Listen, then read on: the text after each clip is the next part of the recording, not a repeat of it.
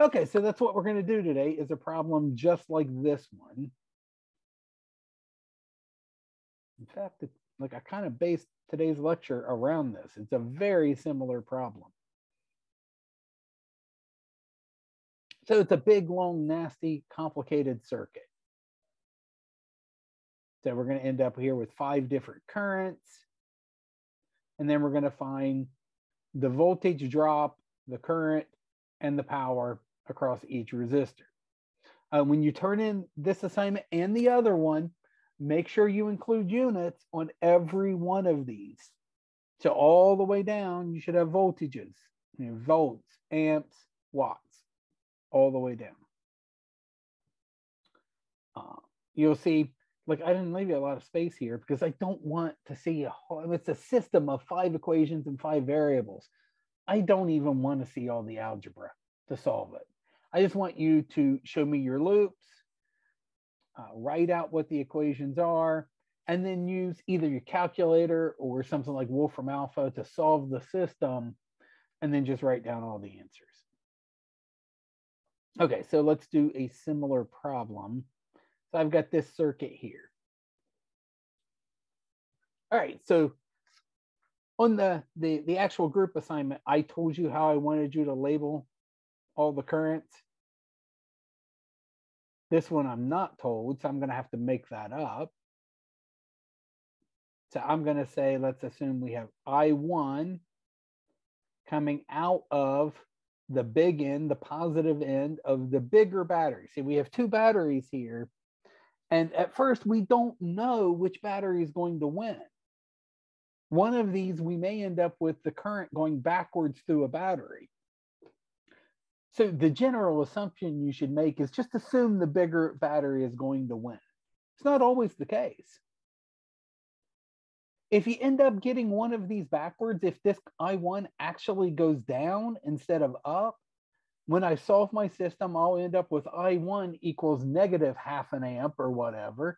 And all that means is I drew this little arrow wrong doesn't affect any of the math whatsoever. I just completely ignore the negative. If you get a negative current, it just means you made a wrong assumption in your direction of your current.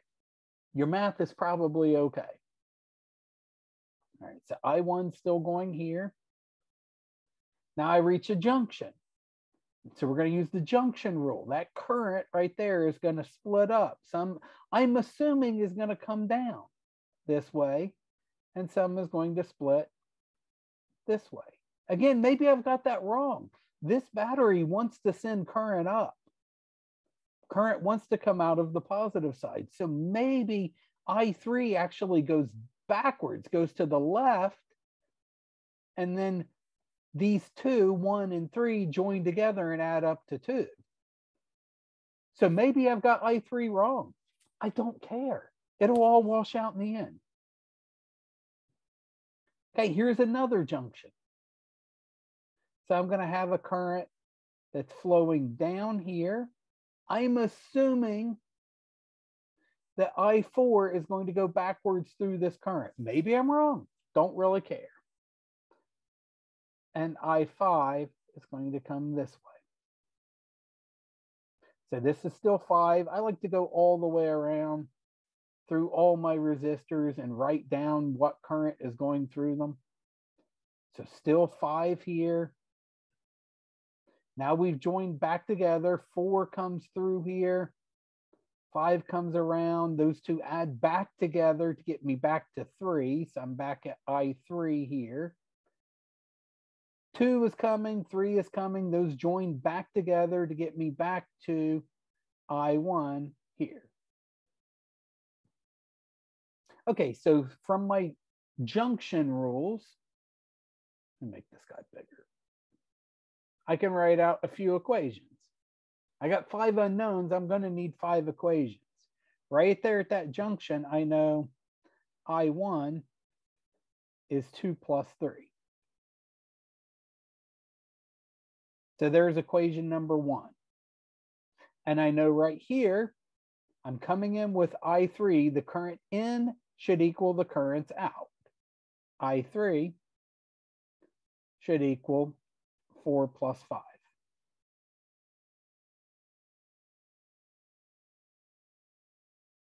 There's equation 2. Now I could I could try to do another junction rule here, but that's just going to be 4 plus 5 equals 3 again. I've already got that. Same thing there. That's just 2 plus 3 equals 1 again. So I'm not going to get anything new out of these other junctions. All right, now I need to use my loop rules. Let's, uh, let's go with blue here. There are a bunch of different loops I could draw. I could draw a loop that goes around right here. I could draw one that goes around here. I could draw one that goes all the way around. I could have a loop just in this section. I could have a loop in this section. I could have a loop in this section. So what was that? Six different loops I could draw. They're redundant. I don't need to draw them all. I need five equations total, so I need three loops. So sure, I'll use this one. Let's call this loop number one. Uh, I'm going to, I want to keep my equation. See how I'm numbering the equations? I'll use box numbers for my loops. Now you have to pick a direction on your loop. That's the important part, the direction of the loop. Around that loop, so for loop number one, I'll even write loop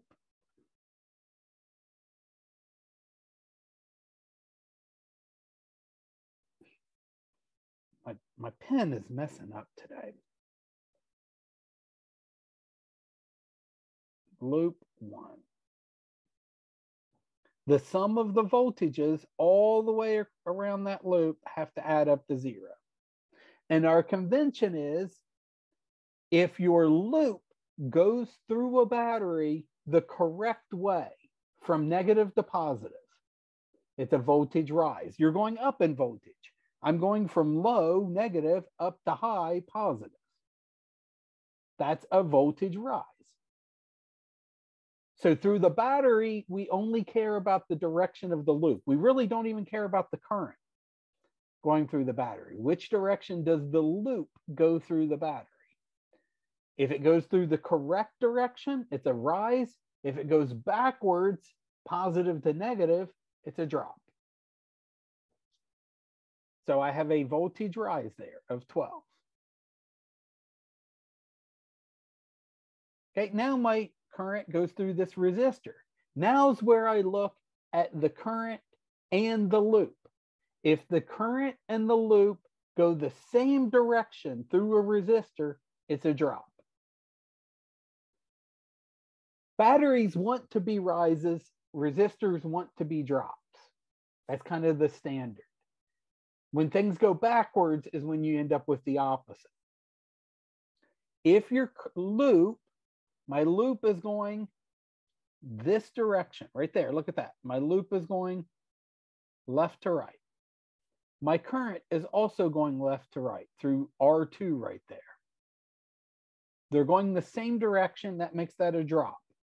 With resistors, same as a drop, opposite is a rise. So I have a, a voltage drop through R2 there. And what's the voltage? Ohm's law, V equals IR. So I1 times 2. So minus 2 I1. Okay, what else does this loop do? It goes right here. So at this point in the loop, I'm flowing down. I2 is also flowing down. Through this resistor, my loop and my current are going the same direction. They're both going down. That makes it a drop. So minus 3I2. It's a different resist or different current, that's I2. That must equal zero. There's equation number three.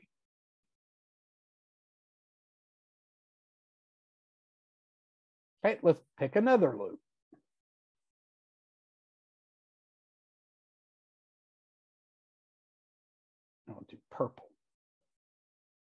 Now I could, I got all kinds of choices here. I could do a loop that goes all the way around here.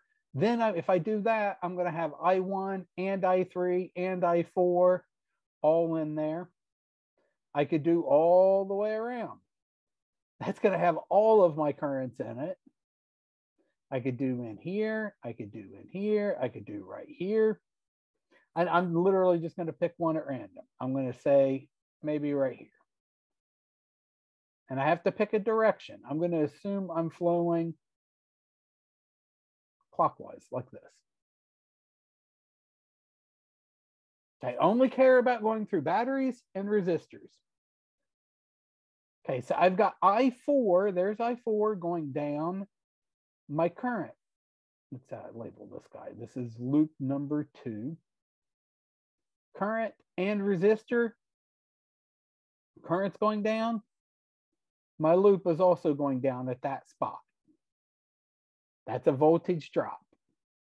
So loop three, sorry, loop two.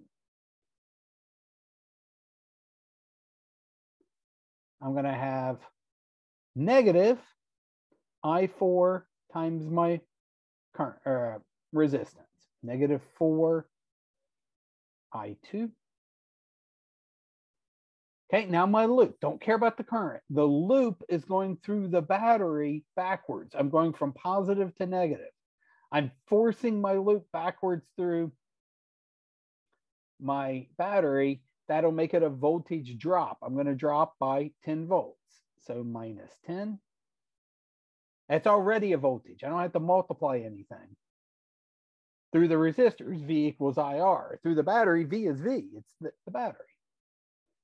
Okay, and then I go along here, but there are no resistors there. Then my current comes up here. So notice my current is flowing down. I should have said my loop is flowing up. My current's flowing down. My loop and current are going against each other. That means this voltage will be a voltage rise. Going the wrong way through a resistor is a rise. Going the wrong way through a battery is a drop. So I'll have a plus 3 I2.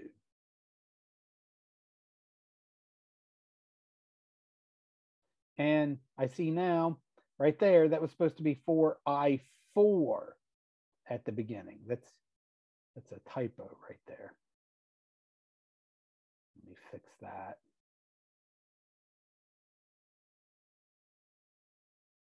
And that should equal zero. That's equation number four. I need one more loop because I need five equations total. There are several different loops I could draw, but they're not going to add anything in. I don't know, maybe this one right here. Sometimes if you're going to solve these by hand, you can judiciously pick certain loops where you only have one current in there and you can just easily solve for that current. If you're going to solve this by hand, sometimes it's better to take the time to pick which loops you want.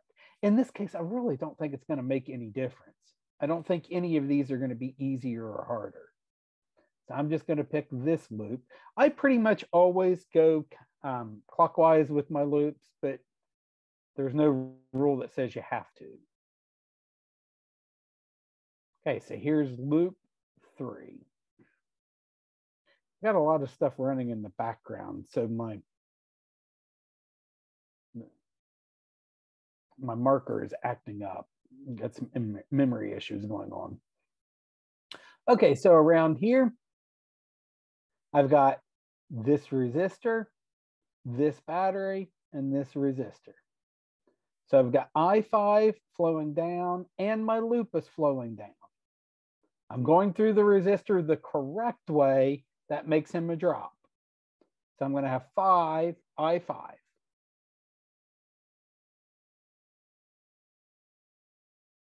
So negative 5 I5. If your loop and current go the same direction, it's a voltage drop through a resistor. Okay, now my loop comes around. My loop over here is flowing up through this battery. I'm going from negative to positive. That's a rise. That's the way you're supposed to go through a battery. That's the way current wants to flow through a battery, and batteries rise current up. So here I'll have a rise of 10.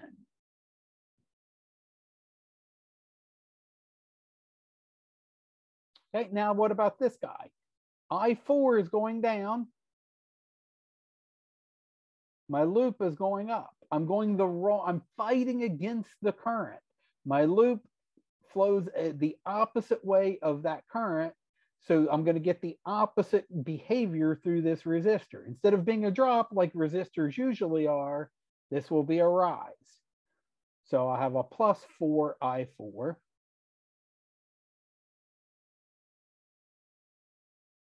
equals zero. And that is equation five. Now I could solve these by hand. Like for example, I could add these two together and the I4s would cancel. Heck, even the 10s would cancel. And then do a whole bunch of back substituting. Honestly, if it were me, I would probably solve it by hand. But there's a whole lot of algebra, a whole lot of places we can go wrong. So it's going to be much easier if we let our, our technology solve this.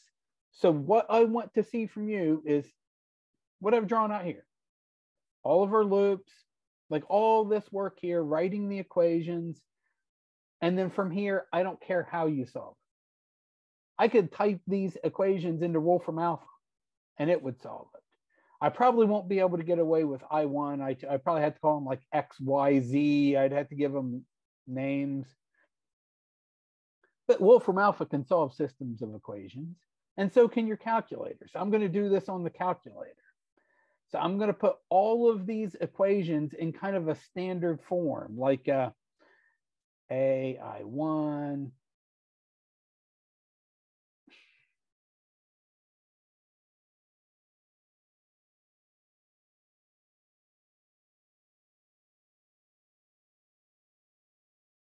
4 plus EI5 equals f. I'm going to write all of the equations with all of the variables on one side, and if I have any constants left over on the other side. So equation one, moving everything to one side, I'm going to get 1 I1 minus 1 I2, 1 three, uh, I want this.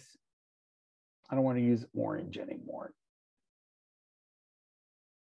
I'm going to go back to using black.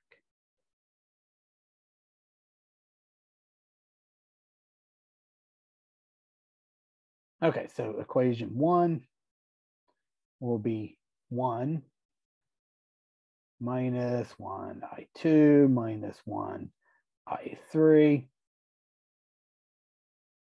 minus or plus 0 I4 plus 0 I5 equals 0. Equation 2. Again, I want to keep everything nice and lined up. It's going to make typing it into the calculator, into the matrix, much easier. So I don't have a one or a two. So he's going to be zero I1 plus zero I2 plus one I3 minus one I4 minus one I5 equals zero equation three, writing it the same way. Let's see, I do not have, I do. Um, maybe it'd be better if I move these two guys to the other side to make them positive. So I'm going to move that 2i1, the 3i2, both to the other side to make them positive. Then I'll have 2i1 plus 3i2 all the rest of these are zero.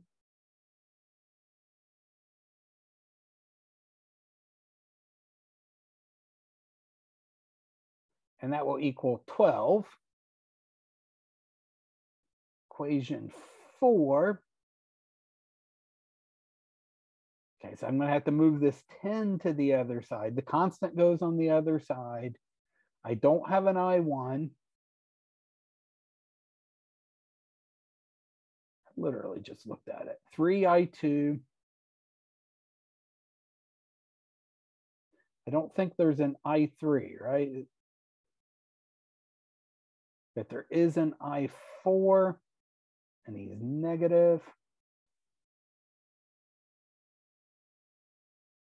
No i5. And what did that equal? 10.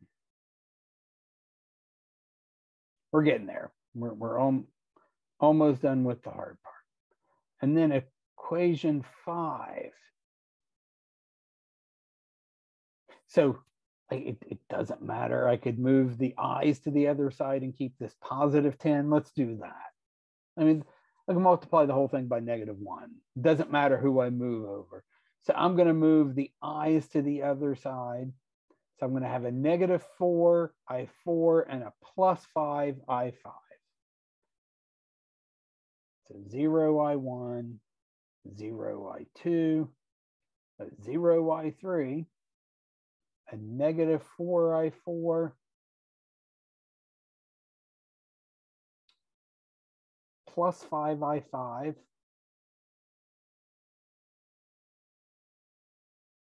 and that will equal 10. Okay, now I can write this in matrix form. That was the whole point of doing that.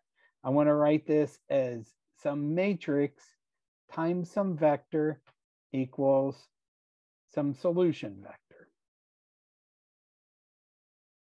So my matrix, all my coefficients will be 1, negative 1, negative 1, 0, 0.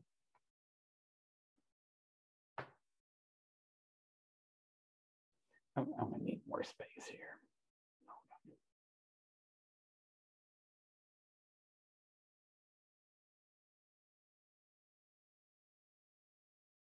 One, negative one, negative one, zero, zero. And then zero, zero, one, negative one, negative one, two, three, zero, zero, zero, zero, three, negative four, zero, and zero, zero, zero, negative four, five. There's my matrix A times my vector I1, I2, I3, 5 should equal, I want to fit this all together into one thing. So I'm going to shrink this down a little bit. Should equal my coefficient matrix over here my or my uh, solution matrix, which is what 0, 0, 12, 10, 10. Okay, now I've got a matrix equation. You guys all took pre-calculus? You know how to solve matrix equations? We could do a whole bunch of row operations on this. We could use Cramer's rule. We could uh, write the augmented matrix and do row operations. It, you learned a bunch of ways. The easiest way is just use our calculator. So, excuse me, I want to put in the calculator the augmented matrix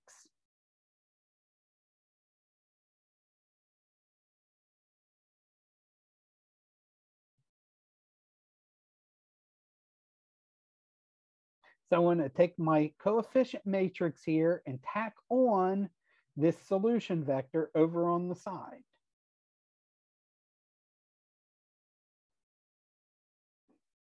I never wanted, I never draw these long enough.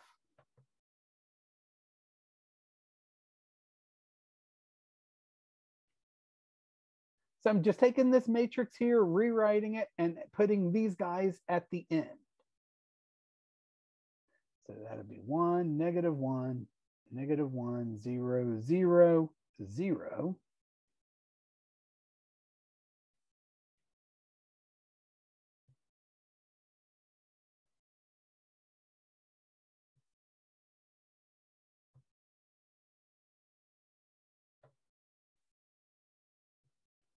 And then the last row, zero, zero, zero, negative four, five, 10. Okay, so I've got my aug augmented matrix. It is a 5 by 6. Remember, it's always rows by columns. How many rows you have versus columns. It's a 5 by 6 matrix. I can now type this into my calculator and it will do all the work for me. So I'm going to come here into matrix. Notice these blues. I have to go second to get there. And I'm going to edit one of these. So let's edit matrix A. He is five by six. Oops. Five, enter, six. Okay, now I just got to type in all those coefficients. And as I type, it's just going to go across the top. And when I get to the end, it will automatically move on to the next row. So one, enter, see, it will go across. Now you got to be careful here. This is your minus button. That's your negative button. So I want negative one.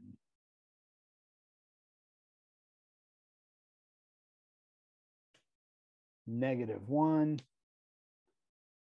zero, zero, zero. I'm on this zero right now. And then when I hit enter, it automatically takes me to the next row. Zero, one.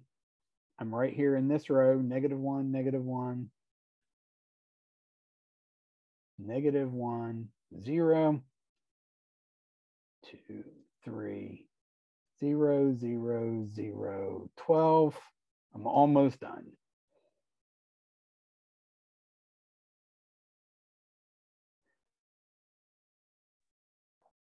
I'm, uh, where am I right here? Three, zero, negative four, zero, 10. Again, negative. Remember, use the negative button, not the minus button. Five and 10. Okay, so I got my whole matrix in here. Now I have a habit of messing up at this moment right here, of going and trying to do math and I accidentally screw up my matrix. So my recommendation is once you get the matrix in there, get out of there, quit. And then I think it's also a good idea to look at the matrix and make sure it's right. So I'm going to go back into the matrix here. I'm just going to pick matrix A and hit enter and then look at it and make sure I got everything right because it's really easy to type these wrong. So let's quickly glance through there. Okay, so that's at least what I wrote here, assuming all of this was correct, that these are the same. Okay, now I want to go back into matrix, go over to math, and go down to row reduced echelon form, RREF, B. And it's going to ask me of what? Now you might think, well, there's an A right there. Look at that little A. It won't take. It, I have to actually go into the matrix menu and grab it. So I'm hitting, I'm on A, hit enter, and now it'll say, okay, RREF of the matrix A. And we're done. This should be the identity matrix, the five by five identity matrix. And then here are all my solutions. There's I1, I2. Oh, look, we got I4 backwards. Don't care at all. I don't even have to go up and fix my picture. In my picture, I assumed that I4 Let's go up here and look. Which one was I4? I assumed that it was going to flow down. I had it wrong. I4 actually flows up. So this equation really should be I3 plus I4 equals I5. Don't care. I don't have to fix anything. I don't have to go back and change the picture. I don't have to change any of my equations. When I write down I4, I'm literally just going to write the positive version. That's it. Don't stress at all. it's very likely you may have picked the wrong direction on one of your currents. If it comes out negative, not a problem. Literally just ignore the negative. Hey, we could, by the way, I could go here into math and hit into fraction and turn those all into fractions if I wanted. But those fractions are kind of nasty, so I'm just going to leave them decimals. Either way, I don't care. All right, so let's write down what we got.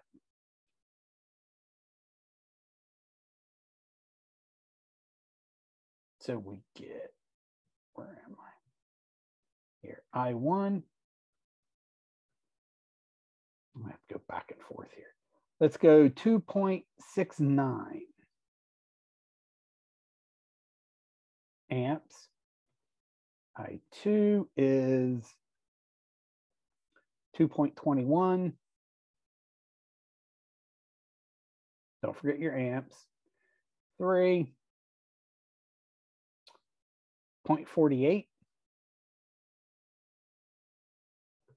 I4, again, I'm just going to ignore that negative. Don't really care about it. Uh, 0.84.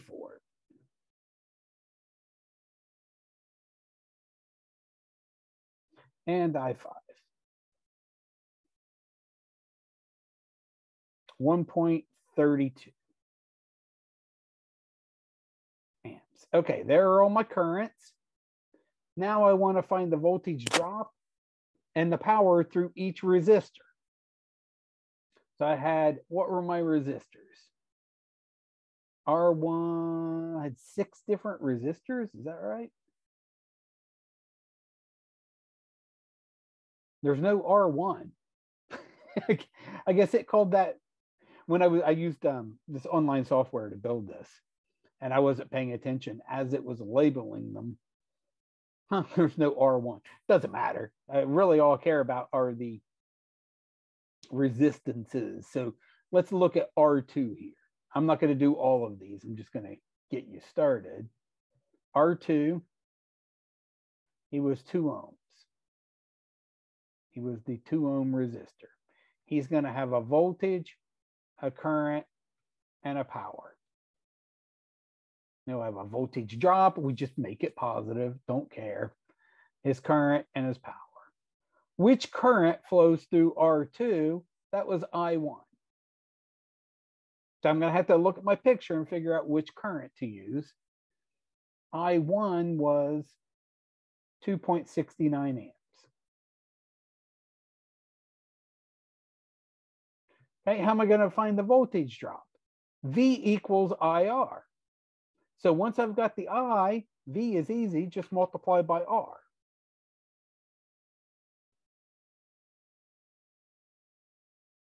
So 2 times 2.69, I think I had 5.38 volts.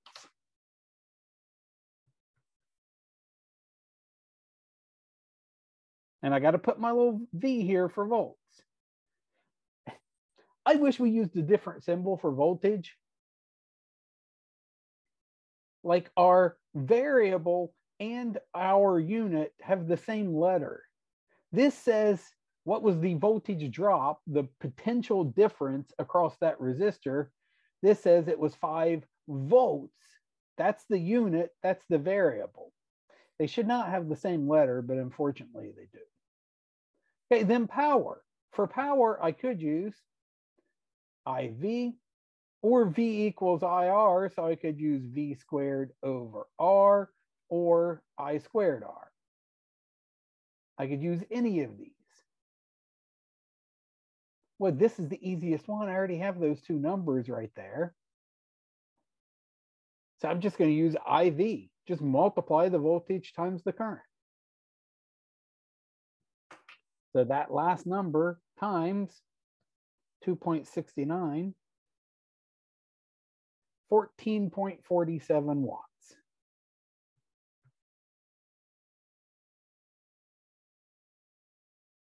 And you're going to do that for each resistor, dot, dot, dot.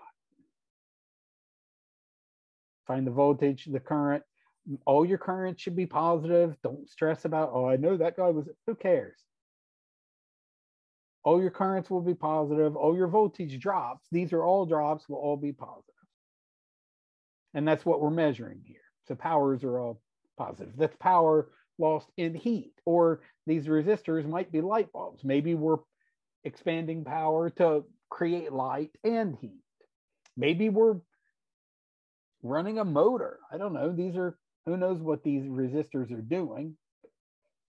That's power that this battery, these batteries are losing. By the way, we are, uh, we're not going through this battery backwards. So we would not be charging this battery. This circuit would not charge that battery. Uh, we'd, if we uh, put the battery over here instead, I think it would have charged. I don't know. We'd have to solve that circuit and see. Okay, that's a good place to stop.